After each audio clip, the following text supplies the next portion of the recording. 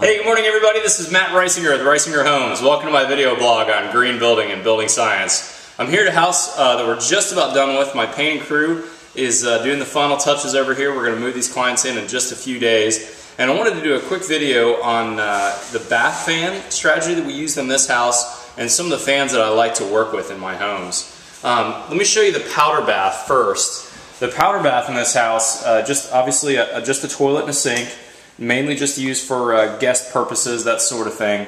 And typically in powder baths, you'll see a very noisy fan. And I don't know if I don't know if it's coming across in the video very well, but that that fan that's up there is just your basic $20 um, bath fan. They're typically fairly noisy. Bath fan noise is rated in sones, and uh, fans that are above two sones are considered very noisy fans that are below two sones are, are considered fairly quiet. That fan is probably somewhere uh, close to three sones. It's a fairly noisy fan.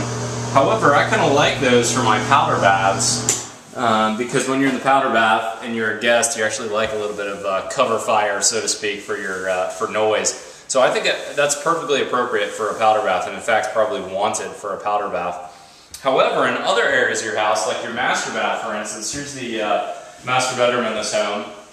Pretty house, isn't it? But uh, in the master bedroom, for instance, we don't want those real loud fans because we actually want to use those fans and we want our clients to be able to talk to each other and not feel like they're drowned out in uh, white noise. So come on back here to the master bath area of this house. And I'm going to show you the fans that we used in the master bath. So we've got two very distinct fans in here by Panasonic, which is really my favorite uh, bath fan manufacturer. That one in the ceiling, kind of a large box, that's actually a fan heater combo uh, by Panasonic. They've redesigned them recently. They're a little sleeker than where they used to be, uh, quite a bit more bubbled. Uh, these are much nicer, a little more contemporary looking. Let me turn that on while the camera's closed, see if you can hear it. I don't know if you can pick up that noise in the video. Let me be silent for one more second. Not much noise at all. That's probably somewhere around one sone or, or uh, maybe 1.2, something like that. That's the, that's the exhaust fan going. Let me turn that off and I'm going to turn the, uh, the heater fan. These are basically a resistance heater fan. It's kind of like having a hair dryer in your ceiling. Here in, in Texas, we don't use those a whole lot, uh, except for a few days a year when your bathroom might be slightly chillier.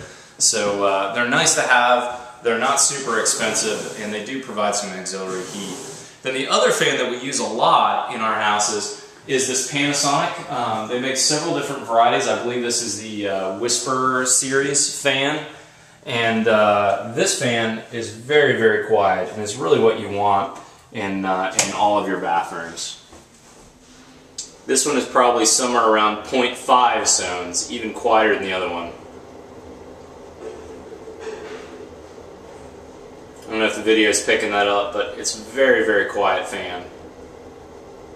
We like to put all our fans on uh, countdown timers if we can. And really in areas like uh, toilet areas and shower areas, those fans need to run for a long time, so that countdown timer is real handy so that you can press a button, have that, have that timer count down, and have that fan turn off at a certain period of time. And let's say in this master, we might be brushing our teeth in here um, next to your wife, you don't want that fan drowning out your noise and you're being tempted to turn it off because you can't hear each other. Um, so that's why I think these very quiet fans are totally worth the money. So I think I mentioned that, that powder bath fan, a noisy one, where we want a little bit of noise, about $20 for one of those. Um, these Panasonic fans are somewhere in the 100 to 150 range per fan. So it's a little bit of an upgrade, but boy, they make a, a big difference um, from comfort and from uh, noise factor. Also for durability, these fans are going to last really for decades, these Panasonic fans. Very nice upgrade.